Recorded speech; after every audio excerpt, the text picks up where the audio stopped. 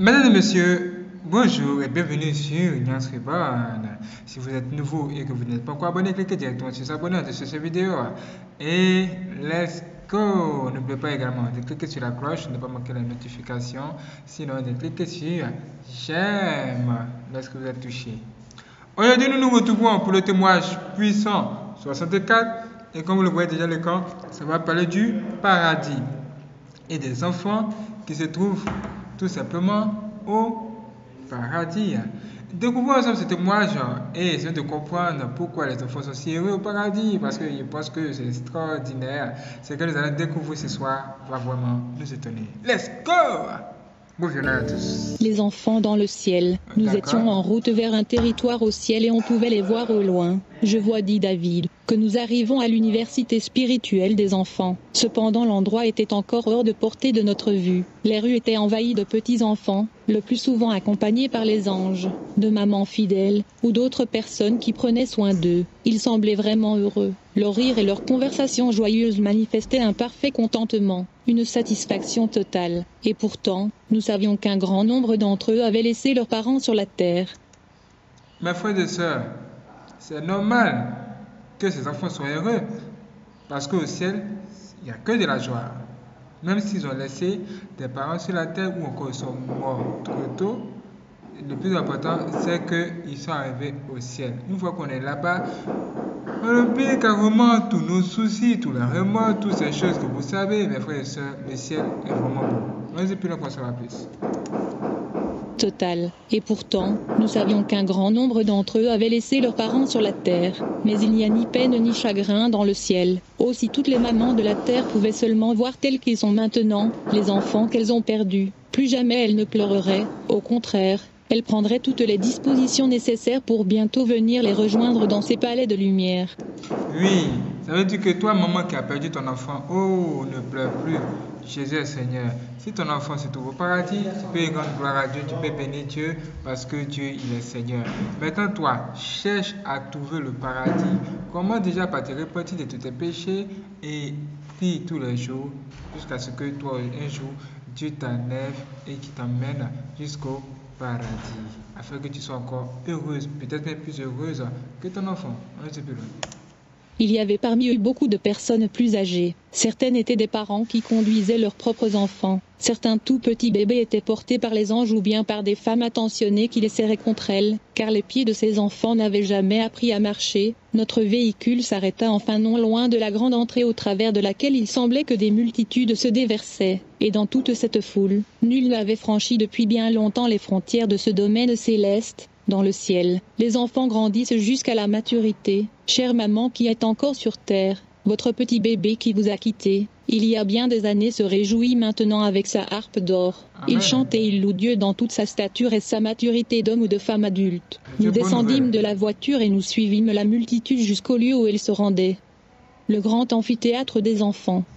L'endroit était vraiment des plus beaux et sa décoration absolument indescriptible. Il semblait que tout le monde s'intéressait aux enfants, car tous avaient apporté des fleurs célestes, très artistiquement arrangées en guirlandes d'une exquise beauté, avec toutes sortes de massifs d'arbustes fleuris d'un caractère impérissable. Je repensais à ce verset de l'Écriture. La force et la beauté sont dans ton sanctuaire splendide.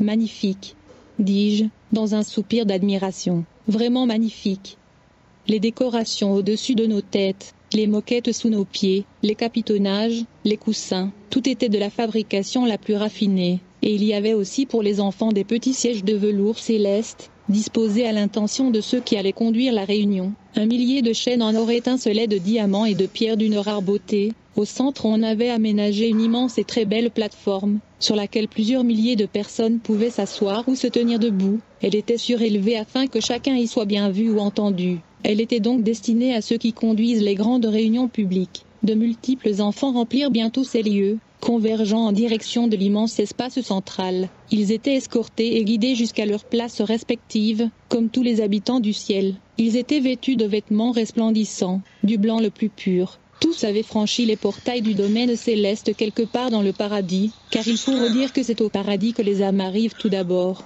Elles sont ensuite préparées pour connaître une plénitude de joie en présence du roi et dans sa gloire. puis elle continue jusqu'au trône, où la vision de Dieu lui-même dans toute sa gloire et sa majesté les comble de bonheur. Tous ces enfants étaient restés plus ou moins longtemps dans les divers lieux d'enseignement du paradis, mais ils avaient maintenant franchi les portes de la ville avec des privilèges grandement étendus. Alors que mes yeux parcouraient la multitude innombrable de ces petits, les paroles du Seigneur me revenaient avec force. Laissez venir à moi les petits enfants, et ne les en empêchez pas, car le royaume de Dieu est pour ceux qui leur ressemblent. Marc 10h14, et je réalisais que n'était plus nécessaire désormais l'avertissement qui déclare, si quelqu'un scandalisait un de ces petits qui croient, il vaudrait mieux pour lui qu'on lui mît au cou une grosse meule de moulin, et qu'on le jetât dans la mer. Merci Seigneur.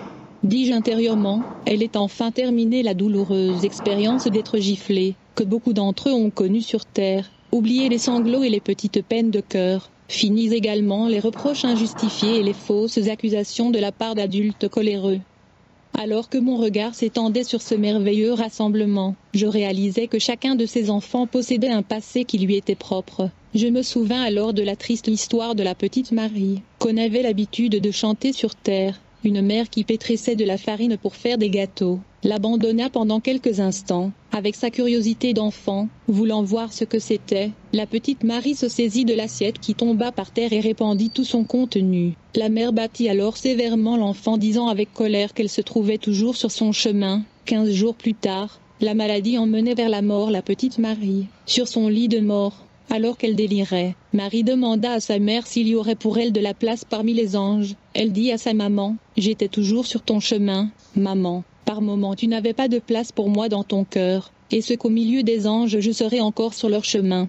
Le cœur brisé, la mère n'aurait trouvé aucun sacrifice trop grand pour pouvoir sauver son enfant. La lumière du jour s'atténuait, et dans sa beauté le ciel souriait. On entendit un murmure comme un écho. L'enfant blême mourait, disant ces mots. Maman, dans cet endroit tout d'or, où les portes de perles sont si belles, là-haut au milieu des anges remplis de joie, est-ce qu'il y aura une place pour Marie?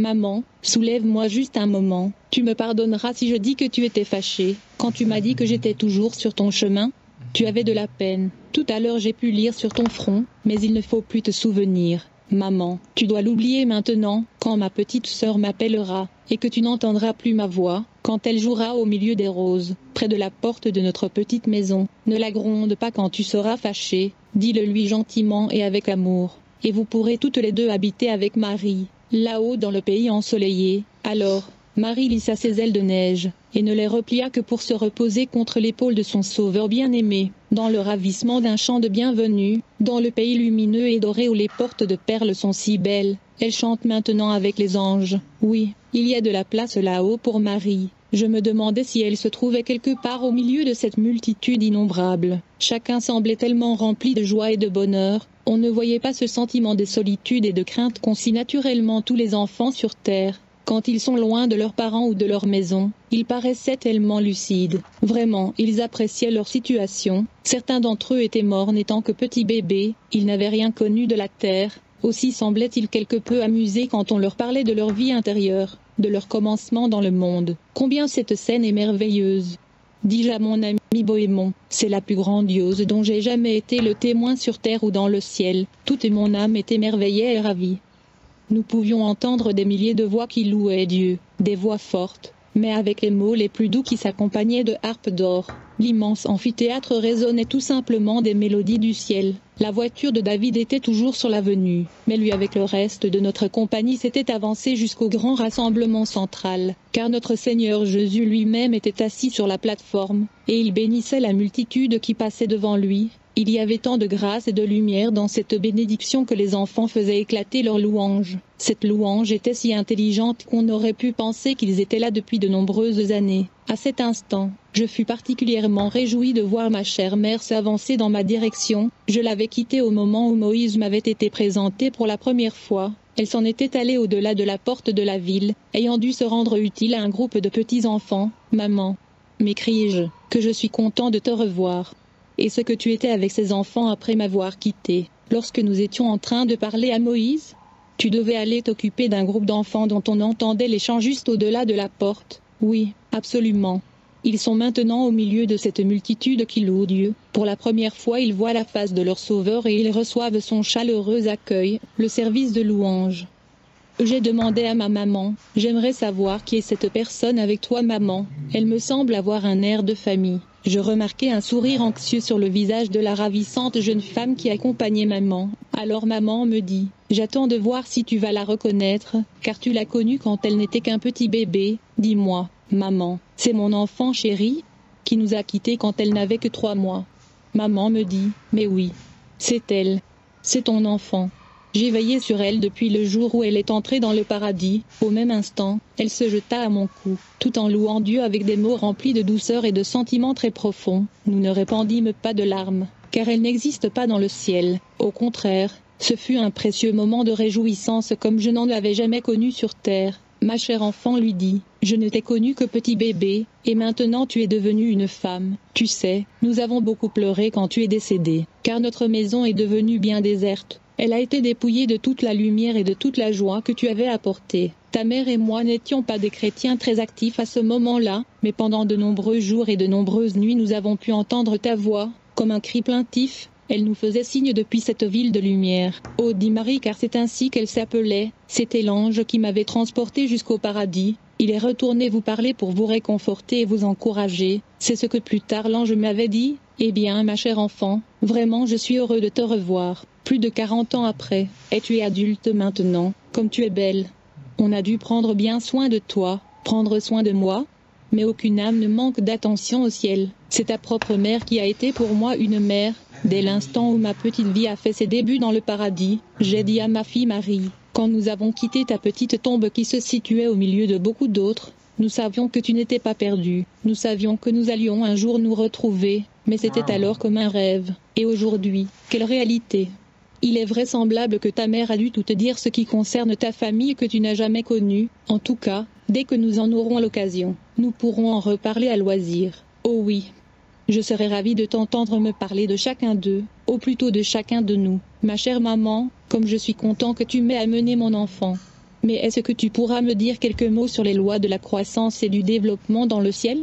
Comment de tout petit enfant parvient-on à la pleine maturité que j'ai maintenant devant les yeux? Eh bien, tu sais que les arbres de vie ont douze sortes de fruits adaptés à tous les besoins de l'âme humaine. Aucune opportunité ne manque ici, car les moyens de connaissance et d'instruction sont répandus en abondance, en fonction des besoins croissants de chaque âme. Cependant, la croissance et le développement de chacun dépendent beaucoup de ses propres efforts. Il n'y a que très peu de personnes inactives dans le ciel. Les traits de caractère que nous avons développés sur Terre pendant notre période de formation sont ici notre part jusqu'à ce qu'ils soient changés ou vaincus au cours du temps de préparation. Chacun a une identité et des caractéristiques propres, celles qu'il a développées au cours de sa vie terrestre. Si un individu a été négligent ou indolent, il garde ici les mêmes tendances. Mais il y a cependant rien qui ressemble à un esprit d'entêtement ou d'obstination parmi ses enfants, ni même dans le ciel tout entier. La volonté de chacun s'incline dans une douce harmonie avec Dieu, mais certains avancent plus vite que d'autres, et ceci dépend de leurs propres moyens et de l'énergie qu'ils y mettent. Ils avancent le long du chemin du développement céleste en s'appliquant à tous les moyens de l'instruction, et en utilisant judicieusement les fruits des arbres. Une loi identique prévaut ici et sur terre, la loi naturelle étant évidemment étendue au domaine spirituel, nos âmes ne cessent jamais de croître, de se développer intellectuellement, et d'accroître leur compréhension des réalités éternelles. Il y a une grande perfection dans le ciel, ce qui implique un éternel progrès en direction de la plénitude de notre Père, dont nous sommes tous l'image. Mais il en est dans le royaume des cieux comme sur terre. L'essentiel de notre devoir et de notre tâche est de nous aimer les uns les autres et il en sera ainsi à jamais. Je m'adressais à maman. En fait, les personnes qui n'ont été séparées que peu de temps se revoient et se reconnaissent de la même manière qu'elles se revoyaient quand elles se séparaient sur Terre. À peu près de la même manière. La seule différence, c'est celle qui existe entre l'état terrestre et l'état céleste. Cependant, dans le cas de parents qui ont perdu leurs enfants alors qu'ils étaient tout petits, si ces parents sont restés de nombreuses années sur Terre après cela, ils ne les retrouveront pas enfants, mais comme le tien, ils auront atteint leur pleine maturité. Ah oui, je vois c'est vrai que ce serait très dommage s'ils restaient petits bébés ou s'ils demeuraient des enfants sans enseignement. Maintenant tourne ton regard du côté de cette grande compagnie dit maman. Tu vois qu'un très grand nombre de classes sont formées, et que les anges, les anciens et ceux qui ont plus d'expérience enseignent à ces enfants la connaissance du ciel ainsi que de nouveaux hymnes de louange. Nous allons d'ailleurs bientôt tous ensemble chanter quelques chœurs. Et si tu n'as jamais entendu de la musique, Tu vas maintenant en entendre, quand tous ces enfants apporteront ensemble à Dieu leur louange, car la plupart d'entre eux ont déjà appris à se servir de leur harpe. Ma fille Marie qui se tenait à deux pas écoutant notre conversation s'approcha de nous, mon cher papa. Comme je suis contente de te voir ici. Depuis combien de temps es-tu arrivé Depuis très peu de temps, j'espère que je vais bientôt tout savoir sur ce qui s'est passé dans notre famille depuis que maman t'a quitté, et même avant car tu peux me dire des choses qu'elle ne m'aurait pas dites. Je ne sais pas pourquoi j'ai été mort et retiré de vous si tôt, mais notre bon père sait ce qui est le meilleur, et tout ce qu'il fait est meilleur et arrive au bon moment. Je me souviens avoir été un petit bébé dans vos bras et sur le sein de maman, mais je n'ai pas beaucoup de souvenirs de la terre. On m'a dit qu'elle était très inférieure à ce monde de lumière et de joie. La mémoire de ma fille Marie était au travail. Elle me prit par la main, et à nouveau elle se blottit contre mon épaule et commença à louer Dieu avec de tels accents que semblèrent effacer pour un temps les événements de près de quarante années, et nous étions là comme un père avec son petit enfant. C'est alors que mes compagnons de voiture me firent signe. Ils s'étaient avancés en direction du centre du grand amphithéâtre.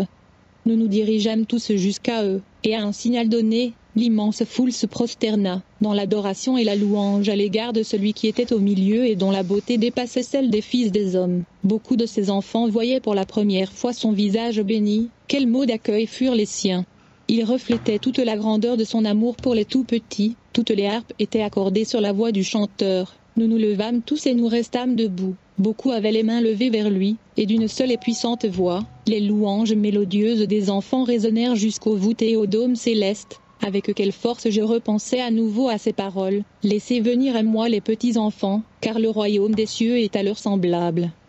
J'ai découvert que ces rassemblements destinés aux enfants afin de les instruire et leur enseigner l'adoration de Dieu. Cette instruction concernait la triste réalité du péché, et le fait que sans le grand sacrifice rédempteur de leur Seigneur, aucun d'eux n'aurait jamais pu franchir les portails bénis de ce domaine céleste. On leur enseignait les souffrances et la mort du Sauveur, le péché et la terrible chute de nos premiers parents en Éden, le jugement et la condamnation venus sur tous. On leur disait aussi qu'une nuit éternelle en enfer aurait été leur sort si le Seigneur n'avait souffert et n'était mort pour eux. Je remarquai leur intense intérêt pour le récit de la croix et leur profonde reconnaissance pour ce que le Seigneur Jésus avait fait à leur égard. Les marques des clous, toujours visibles sur ses mains et ses pieds, étaient pour eux comme une véritable leçon de choses. Le moment de la clôture arriva. L'immense congrégation se leva et le chant final commença. Louez Dieu le grand auteur de tout amour. Louez de toutes les créatures qui est en haut. Louez Dieu, vous qui êtes en bas, vous sa puissante armée. Louez le Père, le Fils et le Saint-Esprit. Comme nous chantions ce chant final, il semblait que la terre et le ciel s'étaient unis. Le voile entre les deux paraissait vraiment très fin. En fait, nous savions que nous étions tous une grande famille, et que très bientôt tous les rachetés de la terre seraient ensemble à jamais. La bénédiction fut prononcée par notre Seigneur Jésus lui-même, avec les mots précieux de son amour éternel. Il semblait presque qu'il était revenu sur terre où il bénissait les petits enfants. Quelques instants plus tard, nous étions en train de nous disperser dans toutes les directions, mais tandis qu'il passait sous la grande arche, les enfants chantaient des chants si joyeux et leur visage était radieux, rayonnant une telle expression de bonheur, que cela attirait inlassablement mon attention. Quelle parfaite satisfaction dis-je, leur joie est totale. Ils ont ici toutes les relations qu'ils pourront jamais désirer. Aucun d'eux n'est à la recherche d'autres relations qu'ils n'auraient pas trouvées ici, et il n'existe ici aucun danger. On ne voit donc en eux aucun sentiment de crainte, car personne dans tout l'immense domaine de ce royaume céleste n'a une quelconque intention mauvaise. Chacun manifeste ainsi une paix parfaite et une totale confiance. David vint près de moi un peu après, il faisait vibrer les cordes de sa harpe dans une mélodie d'une douceur particulière. Il semblait apprécier le grand défilé autant que moi. Trouverais-tu ici un seul enfant qui aurait la nostalgie de sa maison terrestre et qui voudrait y retourner? lui demandai-je. Pas un seul, reconnut-il. Si seulement les parents pouvaient voir et connaître cette gloire dans laquelle leurs enfants sont entrés, ils n'auraient plus l'amer chagrin de les avoir perdus. Je me rappelle maintenant ce que tu as dit à propos de ton propre enfant, lorsqu'il est mort. Ton chagrin avait été difficilement supportable pendant sa maladie, mais lorsqu'il est mort, tu as dit, J'irai vers lui, mais il ne reviendra pas vers moi. 2 Samuel 12 verset 23. C'est vrai dit David, et cela fait maintenant près de 3000 ans que je suis avec lui dans cette gloire au ciel. Je l'ai suivi vingt ans après sa mort, et j'ai alors découvert qu'il avait grandi et atteint sa pleine maturité, qu'il était allé des centaines de fois dans des lieux semblables à celui-ci, et qu'il avait été très bien instruit dans les voies de la cité éternelle. Promenade avec David dans le paradis. Nous étions en train de quitter le grand rassemblement des enfants, lorsque David s'approchant nous demanda s'il nous plairait de faire un petit tour jusqu'au paradis, tandis que sa voiture s'avançait, nous acceptâmes l'invitation avec joie, un peu plus tard, ma mère, ma fille et moi-même, nous sortions de la voiture à milieu de la porte de Manassé, c'était pour nous un endroit nouveau du paradis, il était vraiment beau, je viendrai vous chercher plus tard dit David, faites ce que vous voulez. Passez un agréable moment. Et la voiture s'en alla, je vis au loin une autre voiture qui réduisait son allure. Quatre personnes revêtues des vêtements du ciel étaient assises à l'intérieur, mon regard fut particulièrement attiré par l'une d'entre elles, l'homme n'était vêtu que d'une simple robe blanche. À l'instant où il réalisa qu'il avait franchi l'entrée du paradis, ayant ouvert les yeux sur cette gloire qui s'offrait à lui, il tomba le visage contre le sol, profondément ému, exprimant des louanges et en même temps des regrets de sa vie face à cette gloire dont il se si indigne. Il essayait de louer Dieu mais il ne pouvait lever les yeux de honte. Il était presque nu. Un des saints qui semblait comprendre la situation s'adressa à lui. Vous êtes sauvé. Ne pensez plus à votre passé. Dieu ne se souvient jamais de ce qu'il a pardonné. Oui, bien sûr, mais je suis si indigne. Les anges m'ont assuré que la porte me serait ouverte. Il y a quelques heures à peine j'étais un pécheur perdu, très éloigné de Dieu. Je viens d'être arraché des griffes de la mort éternelle. Mais dites-moi, est-ce que je suis au ciel? Je ne pourrai jamais oublier la dernière prédication que j'ai attendue. Comme Jésus s'est révélé à moi, il m'a apporté le repos et la paix. J'étais sur mon lit de mort. Une réunion a été organisée, et la maison était pleine de monde. Et ça, pas plus tard que la nuit dernière, je vous en prie, dites, moi, est-ce que je suis au ciel? Vous êtes sauvé, reprit le saint, vous êtes arrivé à la maison en toute sécurité, mais pourriez-vous peut-être nous répéter un peu ce que disait cette prédication? Bien sûr que je le peux. Aime-me chaque mot. Osée 10 verset 12 C'est le moment de chercher le Seigneur. À 5 heures du matin, quand apparaissent les premières lueurs du jour, tu demandes, est-ce le moment de chercher le Seigneur? Une voix venant du ciel murmure, Ceux qui me cherchent au point du jour me trouveront. Proverbe 8 verset 17. À 7 heures tu demandes à nouveau, est-ce maintenant le moment de chercher le Seigneur? Une voix qui vient du trône reprend, Souviens-toi de ton Créateur pendant les jours de ta jeunesse. Ecclésiaste 12 verset 3. Quelle belle lumière entoure le front de l'enfant de Dieu qui de bonheur et bon matin a appris à murmurer le nom de Jésus. Quelle source de joie pour lui. À nouveau à 9 heures du matin la cloche sonne et tu te demandes, est-ce l'heure de chercher le Seigneur? La conscience tremble et répond, je suis déjà passé souvent devant la porte ouverte de la grâce et les péchés de ma jeunesse se sont multipliés. Tu écoutes la voix et tu l'entends te dire, c'est maintenant le moment favorable, c'est maintenant le jour du salut. Midi a déjà sonné pour beaucoup d'âmes qui sont ici. La plus importante partie de votre vie est déjà passée. Elle est derrière Wow. vous. Les opportunités bénies de la jeunesse et de l'adolescence ne reviendront plus jamais vers vous. Et pourtant vous dites encore sur un ton d'indifférence. Est-ce que c'est le moment pour moi de chercher le Seigneur?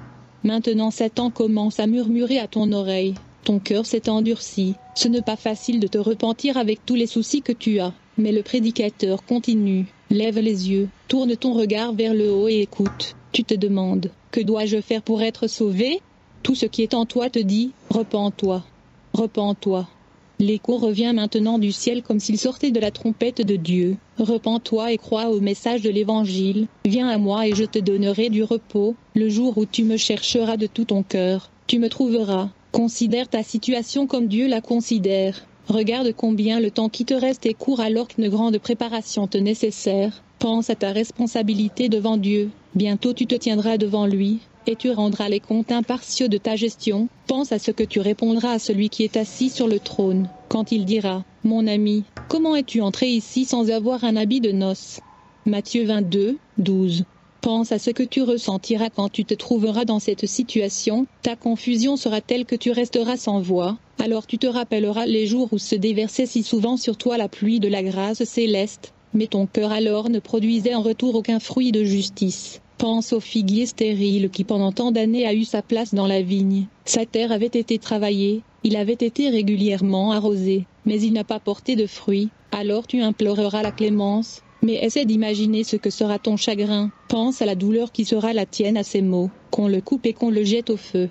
Regarde les mauvaises herbes qui pendant si longtemps ont poussé dans ton cœur et répandu leurs semences dans d'autres sols autour de toi. Pense à la moisson de ce que t'as semé. Ce qu'un homme a semé, il le récoltera. Pense à l'homme riche dans les tourments, qui ne se souvient du bien que pour éclairer son chagrin, et qui sait qu'il aurait pu s'y prendre autrement avec son âme, mais qui maintenant, dans le tourment, voit Lazare au loin dans le sein d'Abraham, alors que toutes ces considérations sont devant toi. Dépêche-toi de courir vers lui qui seul est capable de te sauver. Je t'en prie, ne vis pas un instant de plus comme s'il n'existait ni la fosse de la mort, ni le tribunal du jugement. Fais preuve de prudence.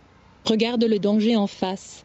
Projette-toi dans le futur, au jour où seront devant tes yeux un Dieu de jugement et un monde de flammes. Alors viens te réfugier auprès de ton Dieu pour fuir la colère à venir. À ces mots, l'homme inclina la tête à nouveau, et avec des sanglots d'émotion mêlés de joie et de désolation, il se leva. Oh merci mon Dieu. Dit-il, je me souviens de tout ce sermon et j'étais en train de prier avec ardeur quand le char de Dieu est venu me chercher. Oh combien j'ai eu et j'ai encore la haine de chaque péché que j'ai commis dans le passé. Oh oui, J'aime Dieu, je lui appartiens à jamais, Alléluia. Et gloire à Jésus. Un groupe s'était formé autour de lui pour entendre cette prédication. Quand il eut terminé, nous nous unîmes tous dans une acclamation de louange à Dieu, mais c'est vrai. Réalisa-t-il, je suis au ciel. Que Dieu soit remercié pour sa miséricorde éternelle. Amen. Je ne suis pas eux en enfer, je suis au ciel.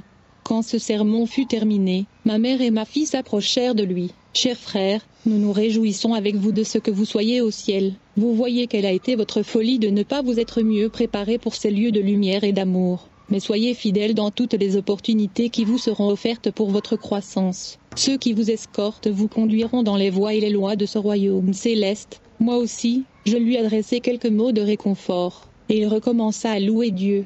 Oh, je bénis Dieu pour ce prédicateur. Ces paroles venaient certainement du Saint-Esprit. Elles ont touché mon âme comme une flèche. À ce moment, un ancien s'approcha et dit, Réjouis-toi mon frère, les anges t'ont amené en toute sécurité jusqu'à ce paradis, tu es même à l'intérieur, très loin de la porte d'entrée. Beaucoup de saints des temps anciens passent une grande partie de leur temps sur le seuil du paradis et apportent leur assistance à tous ceux qui arrivent. Cependant un grand nombre d'entre eux viennent juste de se rendre à de grandes rencontres de louanges à l'intérieur de la ville, et ils n'en sont pas encore revenus. Mais l'ange t'a amené ici, sois attentif à toutes les opportunités qui s'offrent à toi, car beaucoup de choses t'attendent. Oh, faites, moi seulement savoir ce que je dois faire pour être en harmonie avec ce saint lieu. Oh le ciel, tu es à moi.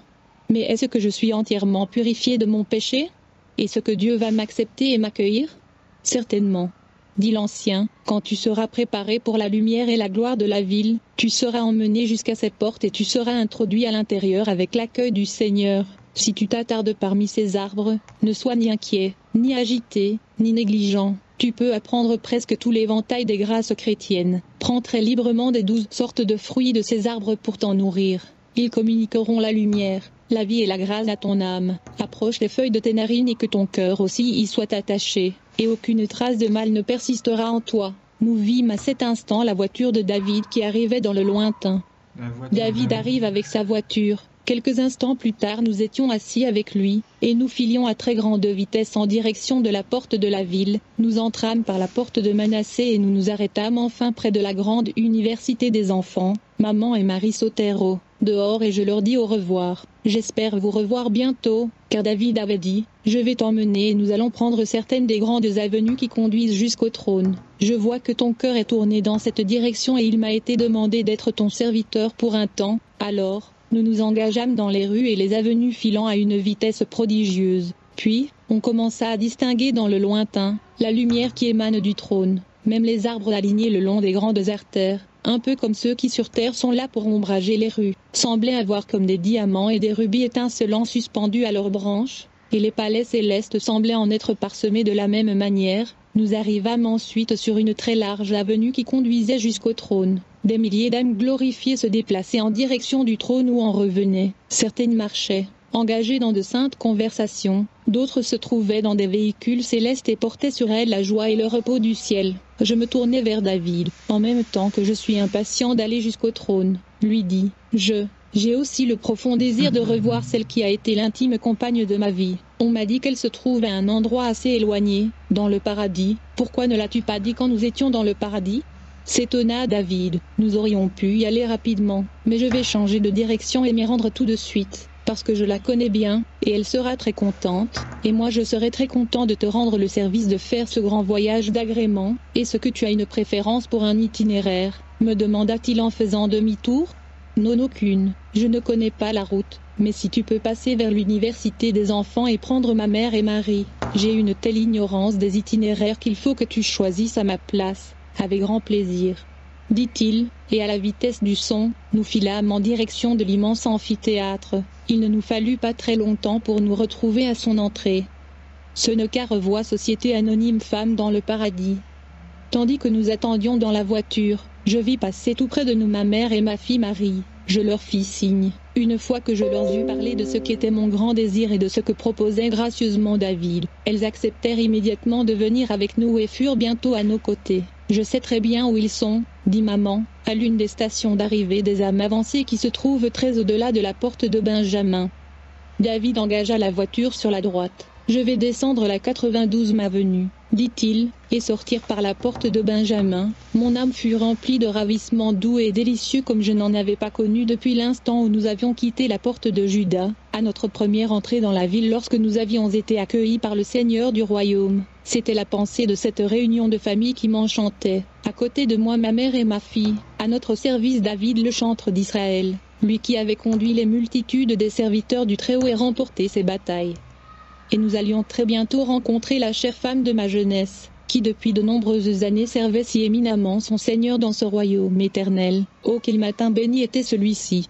Mon âme tout entière était éperdue de bonheur à cette pensée. David me demanda si j'étais prêt, puis il démarra. Nous traversâmes ce qui était pour moi une nouvelle section de la ville. Maman et Marie semblaient être particulièrement chez elles et habituées à l'itinéraire. Marie s'adressa à moi. Papa, je suis heureux que tu puisses bientôt revoir chère maman. Elle a été tellement active ces derniers temps, elle n'a pas eu le temps de se promener avec moi comme nous le faisons souvent, mais nous allons bientôt la rencontrer, et je pourrai te présenter à elle. Je me demande si elle va te reconnaître au milieu de cette foule affairée. Me reconnaître?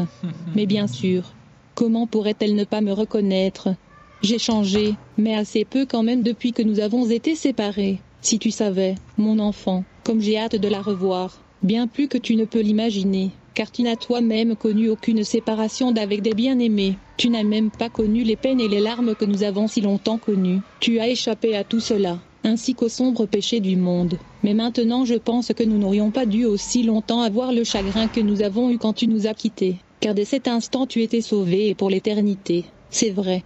Sauvée et très heureuse de l'expérience qui a été la mienne, je ne connais rien de la peine et des larmes dont tu parles. Souvent, d'autres m'ont parlé de leurs tristes erreurs et de leur cœur appesanti par le fardeau du péché, mais ils sont tous très reconnaissants, grâce à notre Rédempteur béni, sans lui j'aurais été moi-même perdu et jamais je n'aurais pu voir ce monde céleste, ni y entrer. David commença à ralentir, m'appelant par mon nom. Il me dit, j'aimerais que tu regardes ce que nous dépassons maintenant. Des deux côtés de la grande avenue, il y avait des multitudes de maisons, très belles mais d'un style très particulier. Elles ont été construites, me dit David, selon les goûts et les fantaisies de leurs occupants, comme le sont d'ailleurs toutes les maisons multiples. Tu as remarqué, je n'en doute pas, la grande variété des paysages et des bâtiments à travers la ville. Chacun peut choisir sa maison, et en changer quand il le désire, Dieu lui-même aime beaucoup la variété, et il n'a pas fait deux brins d'herbe semblables, deux grains de sable semblables, ni deux âmes humaines semblables, mais ceux qui dans le monde entier formaient des communautés, et qui ont eu des choix,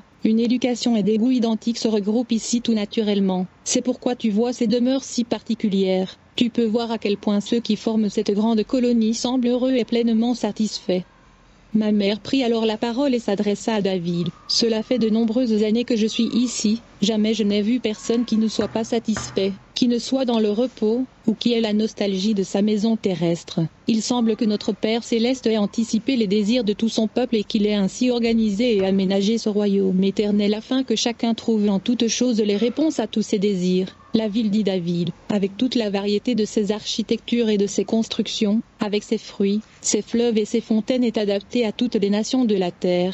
Ici sont rassemblées les foules innombrables qui proviennent de toutes les nations, de toutes les familles, de tous les peuples, de toutes les langues. Des multitudes viennent des nations païennes, et plus particulièrement leurs enfants sont ici en grand nombre, car ils n'arrivent pas à l'âge de la responsabilité aussitôt que dans les maisons chrétiennes. ils sont tous sauvés en vertu de la rédemption, tant qu'ils n'ont pas péché contre la lumière éternelle. C'est pourquoi ils sont ici rassemblés par milliers et ils grandissent jusqu'à maturité. Ce sont ceux-ci qui sont enseignés par les serviteurs fidèles, dans les régions du paradis spécialement affectées à cela. C'est là que nous nous rendons. Est-ce que tu pourrais aller plus vite, David demandai-je. J'ai tellement hâte de revoir celle qui sur terre a été ma douce compagne. Le véhicule accéléra et atteignit la vitesse du son. L'avenue était un lieu de pur délice. Des arbres chargés de fruits mûrs, des maisons variées et de toute beauté, des milliers d'âmes joyeuses allant et venant, d'autres se reposant sur les coussins et les capitonnages célestes, mais à la vitesse où nous allions, nous dépassions des milliers de maisons sans pouvoir les distinguer les uns des autres. J'aperçois la grande porte là-bas au fond, dit Marie. Est-ce que nous sommes si près de la muraille et de l'entrée du paradis demandai-je. David ralentit. Je levai les yeux pour examiner à nouveau le mur immense et toutes ses splendeurs. La porte était ouverte, comme elles le sont toutes, à vrai dire, en franchissant la porte de Benjamin avec sa grande perle scintillante et ses charnières brillantes, en or. Nous n'eûmes que le temps de jeter un regard furtif vers l'arrière pour dire au revoir à la ville, et réaliser que nous étions déjà à plusieurs lieues sur l'une des grandes routes du paradis. Marie appuyait sa tête sur mon épaule. Papa, est-ce que tu apprécies la musique et le fredonnement des roues de la voiture? D'habitude, on ne les entend pratiquement pas. Oh, tu sais, je suis confondu devant l'immensité et la majesté du ciel. Dis-moi, maman, dans combien de temps penses-tu que nous atteindrons la station? Très bientôt. Je crois d'ailleurs que je vois maintenant les dômes et les flèches de la mission. Oui, on y est. Dit Marie. Je les connais bien. Quelle gloire, dis-je. Regardez ces montagnes, ces collines et ces vallées que nous traversons. Mon âme est remplie d'émerveillement. Oh que des milliers de langues. David prit aussitôt sa harpe et nous chantâmes tous à nouveau les victoires de l'agneau. La voiture se trouvait maintenant à l'extérieur d'une arche immense qui donnait sur l'une des sections de préparation du paradis. Nous sautâmes tous au dehors, et à ma grande surprise, plus d'une centaine de personnes des plus gracieuses vinrent nous saluer, toutes reflétaient la gloire et la lumière du ciel. Une présentation? Je n'en eus pas besoin, et plus particulièrement à l'égard de l'une d'entre elles, absolument charmante, la plus belle parmi des centaines, elle jaillit littéralement du milieu du groupe en s'écriant ⁇ Gloire à Dieu dans les lieux trop hauts !⁇ elle se jeta à mon cou, mais ne put pleurer, moi non plus, d'ailleurs, car nul ne peut pleurer dans le ciel. Mais la coupe de notre joie était remplie. Je savais que tu étais en train de venir, dit ma femme Geneviève, mais je ne savais pas que ce serait David qui t'amènerait. Oh. Je suis si contente que tu sois maintenant à la maison. Et tu es aussi venue avec maman et notre fille. Elle les prit toutes les deux dans ses bras et les étreignit. Chère Geneviève, dis-je, depuis mon arrivée au paradis, j'étais très impatient de te revoir, mais il ne m'a pas été possible de t'atteindre plus tôt. Voici donc maintenant réalisés les rêves que nous avions sur terre et qui concernaient notre avenir. Nos prières ont été exaucées. Enfin, nous voici vraiment chez nous. Tu sais, j'ai tant de choses à te demander, me dit Geneviève. Marchons jusqu'à ce groupe de bâtiments, là-bas. Veux-tu? Prenez votre temps, dit David. Je suis entièrement à votre disposition. C'est la mission qui m'a été confiée. Tout en marchant tranquillement, je fus présenté à beaucoup de ceux qui nous saluèrent à l'entrée. Je découvris qu'ils venaient d'endroits du monde très différents, mais tous étaient engagés dans un service béni pour notre Seigneur. Chacun reflétait une joie et un bonheur parfait. Maintenant, dit Sonoka, il faut que tu te reposes quelques minutes. Veux-tu avoir part aux fruits de mon panier pendant que tu te reposeras? Je tendis la main pour prendre ce qui ressemblait à une belle orange, mais il me fut impossible de la saisir. Je fus quelque peu humilié de penser qu'il pouvait en manger et pas moi. Pourquoi est-ce ainsi? demandai-je. Ce fruit n'est qu'un petit échantillon de ce dont je te parle. N'oublie pas que le monde céleste est un royaume spirituel et que toutes les choses ont cette orientation spirituelle. En vérité, tu ne pourras manger de ce fruit que lorsque tu auras traversé la frontière de ton habitation terrestre. Nous étions maintenant à l'intérieur d'un magnifique bâtiment, un très grand salon, superbement décoré d'ornements variés, mais différents de ce que j'avais vu jusque.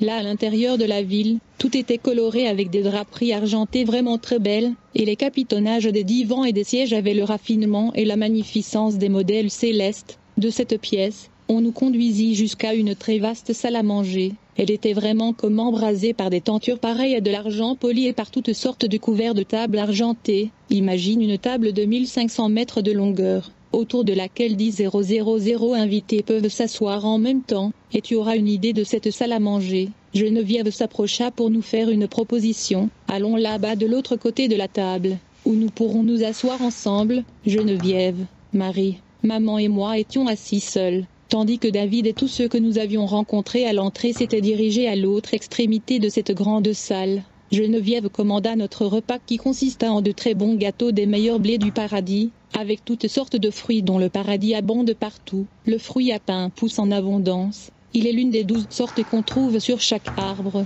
Après que nous ayons rendu grâce, Geneviève qui était assise à côté de moi me dit Combien j'ai attendu cette heure où nous serions tous à nouveau ensemble, et où les peines de la terre appartiendraient alors au passé. Mais parle-moi un peu de nos autres enfants. Oui, dit Marie, parle-nous d'eux.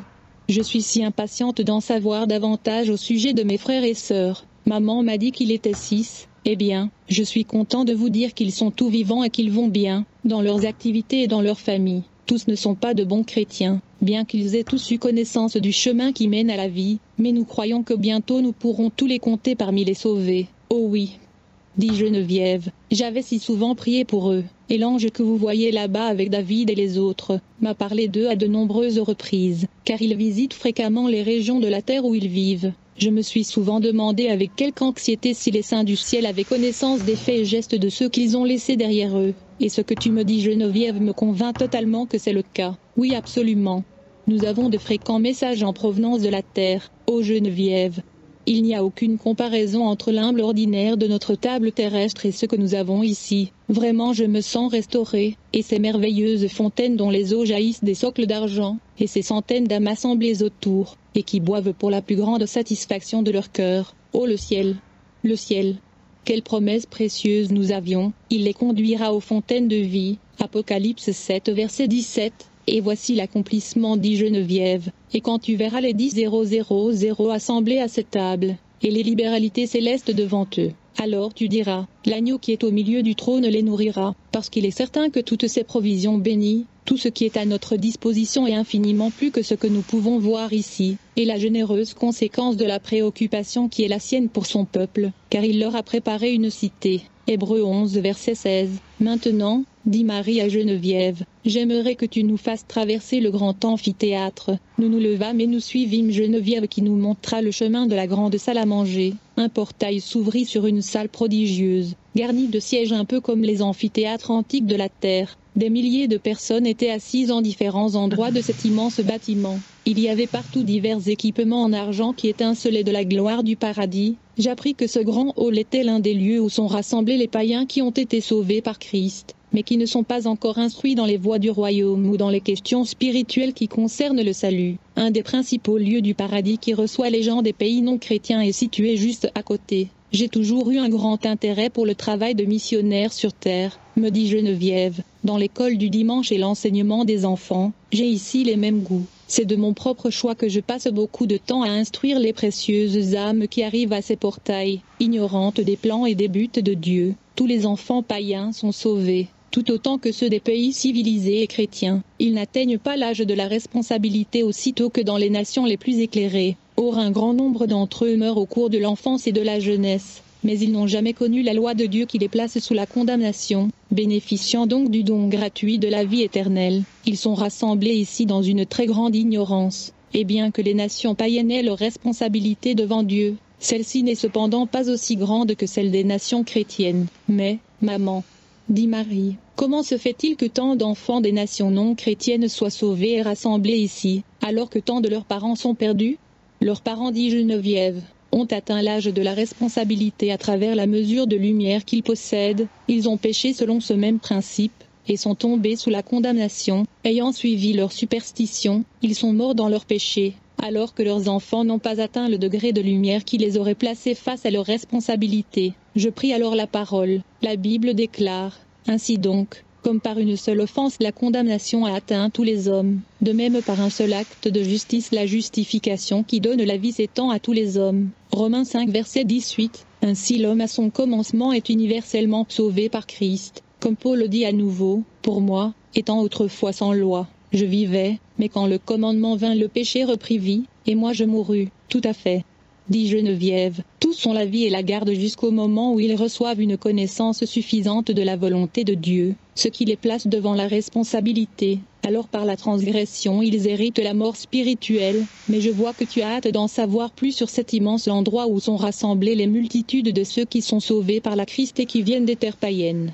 As-tu remarqué qu'il y a une forte proportion de jeunes enfants? Ceux-ci ont reçu une instruction très limitée en ce qui concerne les voies du vrai Dieu, son adoration et sa nature spirituelle. Certains d'entre eux n'en ont eu absolument aucune. L'enseignement qu'ils ont reçu sur l'idolâtrie se cramponne à eux, et ils doivent être instruits dans les voies et les vérités du royaume éternel. Chacun d'eux a sa propre histoire. Ils se demandent avec un grand étonnement qui ils sont, et où ils sont, quand les anges les introduisent à l'intérieur du paradis. La gloire lumineuse de ce monde est si grande que beaucoup d'entre eux sont complètement abasourdis, comme on l'est sur terre quand on se réveille d'un rêve extraordinaire. Ils sont bouche bée d'admiration. Il y a ici des petits enfants de différents âges, et bien un grand nombre d'entre eux en savent autant que les enfants des pays chrétiens. Ce grand amphithéâtre est souvent rempli jusqu'à son dernier siège. On leur enseigne tout ce qui se rapporte à une toute première expérience de ce monde de lumière. Beaucoup d'entre eux ont été sur Terre l'objet du manque d'attention et du mépris. Ils n'ont pas eu d'amis ou n'ont pas connu l'amour d'une mère, ils sont donc grandement respectueux et admiratifs devant la gentillesse qu'on leur témoigne ici. Des milliers et des millions d'entre eux sont déjà partis à travers les régions du paradis et sont entrés dans la ville. Leur voix résonne maintenant avec les mélodies du ciel. Geneviève demandait, je, pourquoi cet endroit est-il davantage destiné aux païens qu'aux autres? Il n'est pas uniquement destiné aux païens, beaucoup ici arrivent des pays dits christianisés, mais Dieu a pourvu en abondance pour son peuple tout entier. L'enseignement est adapté à une classe qui connaît à peine les rudiments des choses élémentaires de la vie moderne ou de la civilisation, et qui ne sait absolument rien des doctrines du salut. Un grand nombre de ces garçons et de ces filles, et même ces hommes et femmes que tu vois être enseignés dans ces classes là-bas sont seulement comme ceux des classes maternelles et préparatoires des écoles de la terre. Il y a donc beaucoup à faire pour les instruire et pour développer leurs facultés spirituelles et intellectuelles. Mais il est intéressant de constater que leurs progrès sont rapides entre le moment où ils sont comme de simples bébés et celui où ils sont saints du ciel à part entière. Tous apprennent rapidement à louer Dieu et chacun possède une harpe similaire à la tienne. Les grandes réunions de louanges qui sont tenues ici très fréquemment sont vraiment des moments réconfortants pour l'âme. Je peux l'assurer, quand 20 ou 30 000 voix sont unies pour chanter des chants récemment appris ou des passages de l'Écriture, ou encore des enseignements célestes concernant les vérités éternelles de Dieu, de façon assez semblable à ce que nous faisions sur terre, dans nos services de louange. Ces voûtes et ces dômes résonnent et renvoient la mélodie de manière telle qu'on pourrait croire qu'on en entend l'écho jusque dans la cité et elle, même, eh bien, Geneviève, je ne peux te dire à quel point j'ai apprécié cette rencontre avec toi et la visite que tu nous as fait faire. Toute mon âme est remplie de louanges et d'adoration à l'égard de notre Seigneur, pourtant de témoignages de son amour envers son peuple. Il est certain qu'il a dû avoir en pensée toutes ces choses destinées aux enfants bien avant d'avoir établi les fondements du monde. C'est vrai peut-être même avant que ce paradis ait été conçu ou réalisé. Dis-moi, ma chère Geneviève, es tu donc si constamment engagée ici que tu ne puisses te rendre en d'autres endroits quand tu en aurais envie? Oh non. J'ai la plus entière liberté, la même que celle des anges ou des anciens œufs. Même, je peux aller partout où je veux, d'ailleurs, je serai entièrement heureuse de t'accompagner là où tu as envie de te rendre, où que ce soit ma chère Geneviève. Rien ne me ferait plus plaisir que tu viennes avec nous. J'avais justement prévu d'aller jusqu'au trône lui-même, lorsque j'ai ressenti qu'il fallait que je te voie avant, et David m'a généreusement offert ses services. Tu vois, la question a été vite réglée, si ça te fait plaisir. J'irai donc avec vous jusqu'au trône, puis nous pourrons revenir à loisir, soit ici, soit à d'autres endroits du paradis. Elle appela alors maman et Marie et leur fit cette proposition qui reçut bien vite leur approbation. Elle demanda à quelqu'un qui se trouvait près d'elle d'aller chercher David et ceux qui, par centaines, se trouvaient avec lui. Peu de temps après, tous étaient avec nous. Nous avons décidé de retourner maintenant vers la ville et de continuer jusqu'au trône. Dit, je à David, je suis à votre disposition jusqu'à la fin de ce voyage. Geneviève organisa rapidement avec d'autres son remplacement dans les classes de préparation, puis elle proposa que nous nous unissions dans un cœur d'action de grâce, jusqu'à ce que nous ayons quitté l'amphithéâtre.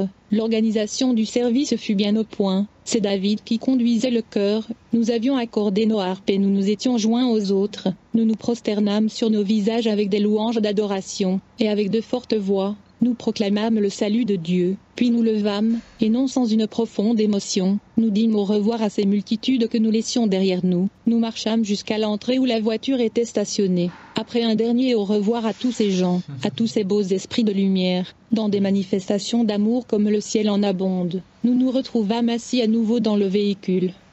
Il faut maintenant que la nuit apporte son repos, dit alors Seneca en se tournant vers moi, retranscrit fidèlement ce message. Franchement, c'est vraiment un témoignage assez impressionnant. On nous parle du, paradis, on nous parle des enfants qui sont au paradis. Franchement, ils vivent très bien, ils sont heureux. Nous devons tout mettre en œuvre pour aller au paradis. Et quand on nous dit qu'elle a vu le roi David là-bas, franchement, tout ça, ça confirme que la parole de Dieu, c'est pas de la blague, c'est réel. Et que nous devons tout faire comme lui pour rendre gloire à Dieu et l'honorer. Merci d'avoir regardé cette vidéo. Préparez-vous pour la prochaine vidéo qui va pas tarder à venir. Ça va être chaud sur Reborn. Let's go. Abonnez-vous à toutes ces vidéos si ce n'est pas encore fait. Cliquez directement sur s'abonner, cliquez sur la cloche pour l'activer et laissez un j'aime si vous avez été touché ou encore vous avez apprécié le fait de voir des enfants au paradis. C'est extraordinaire. Let's go.